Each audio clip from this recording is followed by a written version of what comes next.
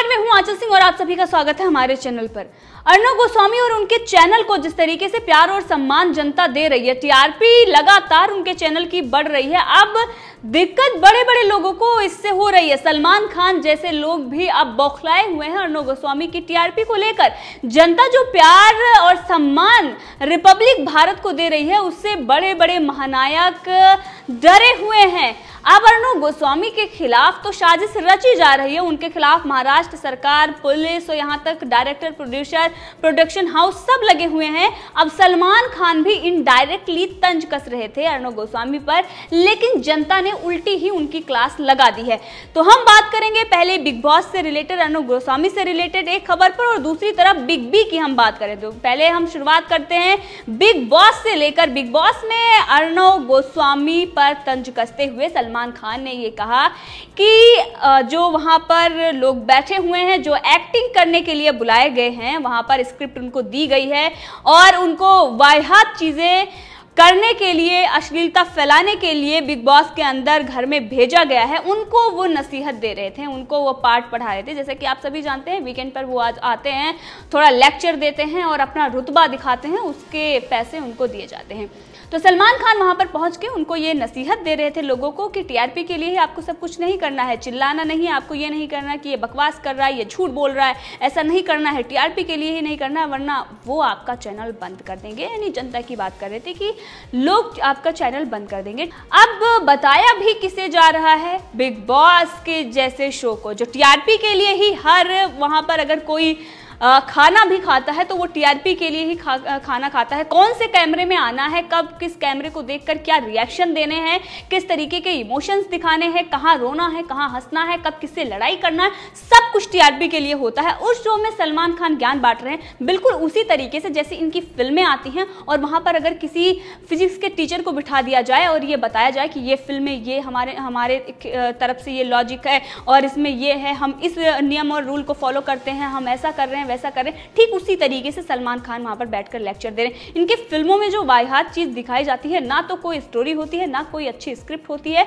बकवास होता है, भोड़ापन उसमें होता है। एक दो आइटम सॉन्ग और उसके बाद सलमान खान की वाहियात एक्टिंग और उसके साथ ही बकवास जो चीज़ें वो दिखाते हैं। चाहे कोई भी इनकी फ़िल्में उठाकर देख लें, ज़्यादातर फ़िल्में इनकी ऐसी ही हैं। अब वो किसी तरीके से कमाई कर लेती हैं क्योंकि व्हाइट और ब्लैक का जो खेल चलता है, सबको पता है। अब जनता इनको जो प्यार दे रही थी, वो देना बंद कर चुकी है, क्योंकि ये होस्ट कर रहे हैं बिग बॉस को, इसीलिए इनकी टीआरपी नहीं आ रही। अब टीआरपी से इतने बौखलाए हुए हैं, इनकी टीआरपी तो आ नहीं रही है। अब रिपब्लिक भारत को टीआरपी मिल रही है, इसीलिए तंज कसा जा रहा है। वहीं जो चैनल हैं, जो रिपब्लिक भारत के खिलाफ साजिश रच रहे हैं, आपने देखा कि एफ़ में कहीं रिपब्लिक भारत का नाम नहीं है इंडिया टूडे का नाम सामने आया है, लेकिन आज भी वो चिल्ला चिल्लाकर रिपब्लिक भारत और अर्णव गोस्वामी को ही दोष दे रहे हैं। मतलब हद हो गई है, अगर आप एक झूठ को सौ बार बोलेंगे तो वो सच नहीं हो जाएगा। अगर कोई सच्चाई के रास्ते पर चल रहा है, अगर कोई सच दिखा रहा है, वो अकेला है तो उसको रोकने के लिए सब एक साथ हो जाते हैं, एकजुट हो जाते हैं। और ये जो गंदी पॉलिटिक्स खेली जाती है, ये बहुत ही खतरनाक है और आने वाले दिनों में उन पर ही भारी पड़ती है। क्योंकि हमने देखा बहुत सारे ऐसे चैनल हैं जो पहले राष्ट्रवादी चोला उड़कर आते थे, आज उन, वो भी बेनकाब हो गए हैं और जनता उनको जूते मार रही है। तो ज़्यादा देर नहीं होती तो समय का चक्र है और ये चलता रहता है।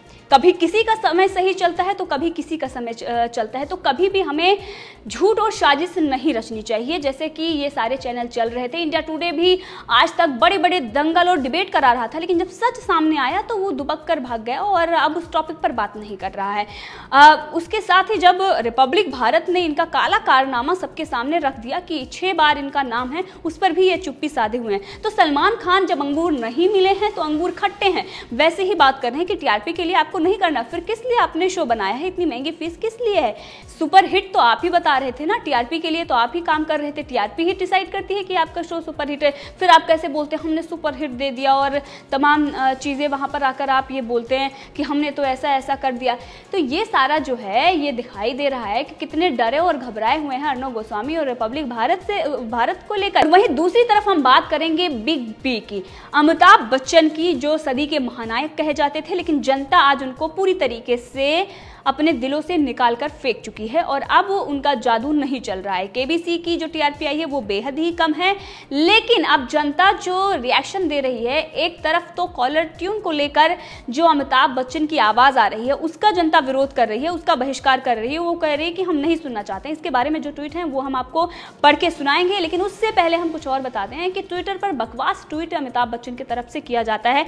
जो मुद्दे होते हैं, जिन पर जनता चीखती है कि आपको इस पर जवाब देना है, वो उस पर शांत हो जाते हैं, मौन हो जाते हैं, चुप्पी साध लेते हैं, मुँह पर टेप लगा लेते हैं। अब इसी बात का जनता विरोध कर रही है कि आप बकवास ट्वीट लेकर आ जाते हैं। उन्होंने जो सीरियल नंबर से वो अपने ट्वीट करते हैं, उसका नंबर उन्होंने गलत कर दिया है। अब जनता ये कह रही है कि ये तो पनामा से भी बड़ा घोटाला आपने कर दिया है।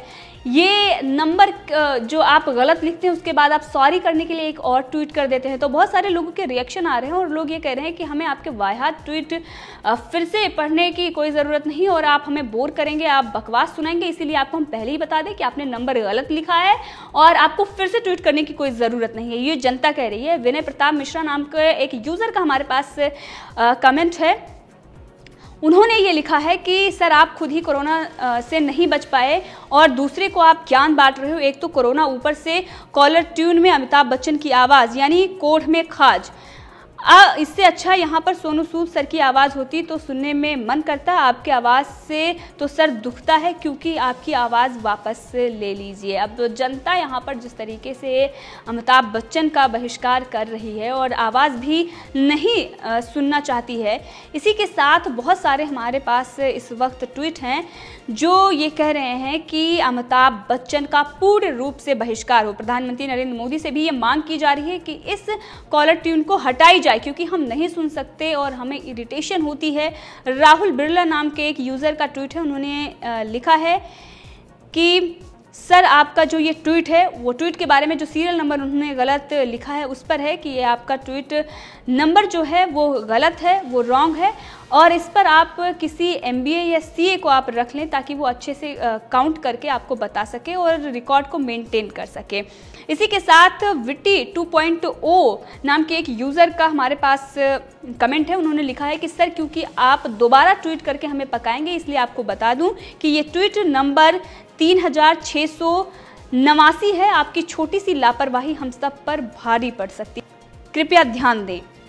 इसी के साथ आई एम सुशांत नाम के एक यूज़र हैं और उन्होंने लिखा है कि, विडंबना देखिए, जो व्यक्ति खुद कोरोना से नहीं बच पाया, वही कॉलर ट्यून पर ज्ञान दे रहा है। जो खुद कोरोना से नहीं बच पाया, आज वही कॉलर ट्यून पर लोगों को ज्ञान दे रहे हैं। अमिताभ बच्चन, उन्होंने टैग भी किया है उनको। यहाँ पर बहुत सारे ट्वीट हैं। एक यूज़र ने लिखा है, नमस्कार सर, हम अमिताभ बच्चन की आवाज़ नहीं सुनना चाहते। आप हमें बताइए, हम क्या करें? जब भी फ़ोन करते हैं, उनकी आवाज़ में मैसेज शुरू हो जाता है और फिर हम फ़ोन कट कर देते हैं। इसमें बहुत सारे ऐसे लोगों के आ रहे हैं जो ट्वीट हैं और कमेंट हैं, वो आ रहे हैं कि हम अब कॉल कर ही नहीं रहे। अगर हमें कॉल करना है तो हम व्हाट्सएप कॉल कर रहे हैं, क्योंकि हमें ये इरिटेटिंग आवाज़ बिल्कुल भी पसंद नहीं है। आप सोच सकते हैं कि जनता के दिल में कितनी कितनी इज़्ज़त और प्यार, मोहब्बत अब बिग बी के लिए, महानायक के लिए बची हुई है। इससे आप अंदाज़ा लगा सकते हैं। तो अमिताभ बच्चन जिनका नाम कई बार सामने आया है, लेकिन हर बार वो अपने आप को महानायक बनाते आए हैं। बहुत सारी ऐसी चीज़ें हैं जहाँ पर दिखाती हैं कि इनकी पूर, उनका पूरा परिवार अवसरवादी है। अपने आप के लिए, अपने स्वार्थ के लिए ये लोग किसी भी हद तक जा सकते हैं। जनता इनका असली चेहरा देख चुकी है और इसीलिए वो लगातार अब बाइकआउट कर रही है, अमिताभ बच्चन का बहिष्कार कर रही है। यहाँ तक कि उनकी आवाज़ भी सुनना नहीं पसंद कर रही है, जबकि उनकी आवाज़ जनता को इतनी पसंद थी कि अगर वो अपनी आवाज़ में कोई एक मैसेज कर देते थे तो जनता उसको सुनने के लिए उतावली रहती थी, उत्साहित रहती थी।